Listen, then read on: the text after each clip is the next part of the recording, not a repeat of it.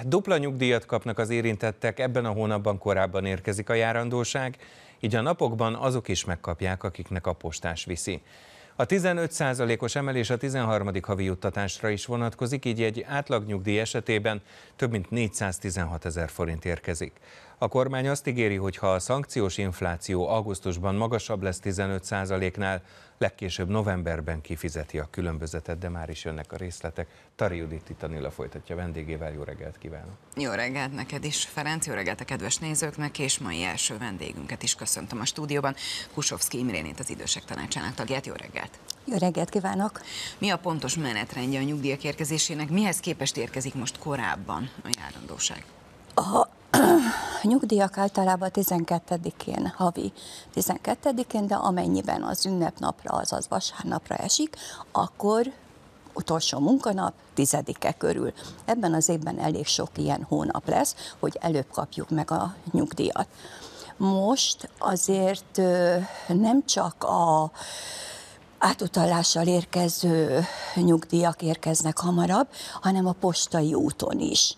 Azt is tudjuk, hogy általában vidéken ott később szokták megkapni hónap 20-a, 24-e, de azt is már volt olyan vidék, ahol most 10-én már megkapták, de lesznek az elkövetkező napokban is hétfőket szerdán, ahova kiviszi a postása a nyugdíjat mind a kettőt. Eszembe jutott csak így a téma kapcsán, hogy az időseknél mi jellemző? Inkább készpénzben kérik Igen. többen a nyugdíjat? Azt azért tudjuk, pontosan azért felmérés erről még nem készült, de azt azért, hogy városban igazán, ahol több bank, OTP fiók van, oda elmegy a nyugdíjas, tehát ő átutalással kéri, de vidéken, ahol ugye egy kicsit messzebb vannak a központtól, ők azt inkább postai úton kérik. Ugye nagyon fontos megjegyezni, hogy most dupla nyugdíjat kapnak a nyugdíjasok, méghozzá ugye a 13. havi nyugdíj is már a megemelt nyugdíjat duplázta meg a kormány. Igen, tehát a 15 kal megemelt nyugdíjat kapják a 13. havit. Ezt tudni kell, hogy körülbelül 2 millió főt érint, azok a öregségi nyugdíjat kapják meg, és 500 ezer pedig nyugdíjszerű ellátásban részesülnek. Azért van itt hozzátartozó is, ugye az özvegyi, vagy akkor a rokkantsági járadékkal, fogyatékosság járadékkal. De ezt fel vannak törvénybe sorolva, hogy kik kapják, ők 500 ezeren vannak. Ugye annó a 13. havi nyugdíj az egy létező juttatás volt, ezt ugye a gyurcsánybajnai kormányok szüntették meg, akkor hogyan érintette ez az idős társadalmat? Megmondom őszintén, hogy akkor még azért a kolléganők, akik mert még akkor nem voltam nyugdíjas, de a kolléganők akkor nagyon-nagyon fel voltak háborodva, ezt a szót használom inkább, mert számítottak rá, és megszűnt. Kész. Egyszerűen arra hivatkozva, hogy a gazdasági helyzet nem engedi meg. Utána tényleg nagyon-nagyon örültünk annak, hogy 21-ben bejelentették. Ugye 21-ben mit is jelentettek be? Hogy négy éven keresztül hetente növelik majd, és úgy lesz majd 24-ben az egy havi. De nem, a kormány, a kormány abban segített, és azt ö, ö, próbálta megcsinálni, akármilyen nehéz a gazdasági helyzet, hogy már 22-ben megkaptuk az egy havit és most 23-ban is megkaptuk az egy havit. Hát bízunk benne, hogy ez így fog folytatódni. Mekkora segítséget ezt jelent, jelent ez a nyugdíjasoknak? Ugye amikor 21-ben elkezdődött a 13. havi nyugdíj visszaépítése, akkor egy gazdaságilag jóval kezdvezőbb helyzetben volt nem csak Magyarország, hanem gyakorlatilag egész Európa. Most azért egy nehezebb, most azért nehezebb időket élünk, sok mást és sokféle tényező miatt. Most ez a 13. havi nyugdíj mekkora segítséget jelent? Mindenféleképpen segítség, de azt is tudni kell, hogy volt már egy felmérés, amelyben azt mondták a nyugdíjasok, hogy vagy az unokának segítenek ebben a plusz pénzzel, vagy elteszik. Tehát van egy megnyugvás is, hogy na, van most egy kis tartalékom.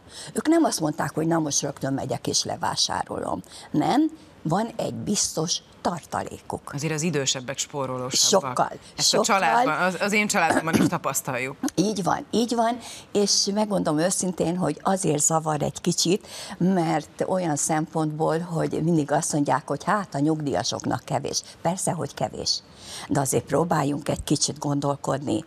Egy, egy erős egy éven belül 29 százalékkal emelkedett a nyugdíj tavaly januárban. Most mindegy, hogy januártól januárig vesszük. Tavaly 14 százalék, és most januárban 15. Az 29 százalék. Nem tudom, melyik ágazatban volt 29 százalékos béremelés. Nem, nem nagyon volt szerintem. Tehát így a kormány nagyon támogatja azért a nyugdíjasokat, és mindenki örül ennek, hogy ezt megkaphattuk. Azt is tudni kell, hogy ki is kapja meg, aki december 31-én, tehát az előző évben egy napot nyugdíjas volt, már az is megkaphatja a nyugdíját, a 15%-ot és a 13-at is. De aki már január 1-én elment, az természetesen az csak majd Annak majd 24-ben a fog kapni. Igen. következő évre. Itt azt mondja a kormány, hogy ha az infláció magasabb lesz, ugye 15%-nál, ez nyilván majd évvége felé fog kiderülni, akkor novemberben kapnak egy kiegészítést. Erre milyen szabály vonatkozik? Ilyenkor hány százalék érkezik? Amennyi a 15%-on felül? Felül van, igen, természetesen. Ez általában szeptemberben fog majd eldőlni, ugye, hogy körülbelül az infláció hány százalékkal lépte túl a 15 százalékot, és annak megfelelően novemberben azt nevezzük egy nyugdíjkorrekciónak akkor mindenféleképpen a kormány most már múlt héten bejelentette, hogy akkor megkapjuk a 15 és a meglévő infláció közötti százalékot. Azt azért el kell mondani, hogy az idén nem biztos. Tehát én azt mondom inkább, hogy ne nagyon éljük bele azt, hogy lesz novemberben prémium, nyugdíjprémium, mert ugye a kormánynak az az a célkitűzése, hogy a 3,5%-os GDP-t ne lépjük túl de ha véletlenül túllépjük, akkor ő megint garantálni fogja a nyugdíjprémium kifizetését is.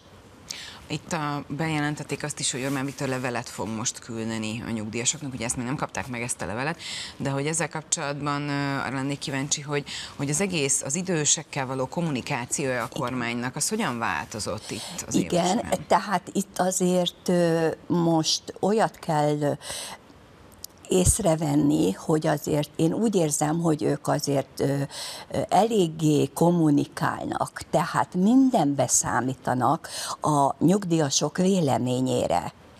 Tehát ez is egy nagyon jó dolog, hogy levélben keressi meg miniszterelnök úr, és mondjuk meg őszintén, hogy az időseknek nagyon is úgy, úgy, úgy tetszik, idézőjelben mondom, hát, hogy miniszterelnök úr írt nekünk egy levelet, Pontosan nem tudom még, hogy mire fog úgy igazán kitérni, de biztos, hogy ez kommunikáció szempontjából egy nagyon jó pont.